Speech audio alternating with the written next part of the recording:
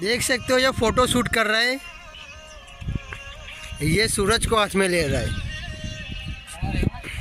हमारे लोले को भी हाथ में ले लो कभी।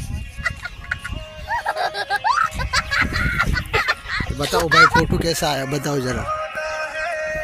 देखो देखो, समझ रहे हो भाई कुछ? सूरज की जगह किसी और को लगा दो। Bye bye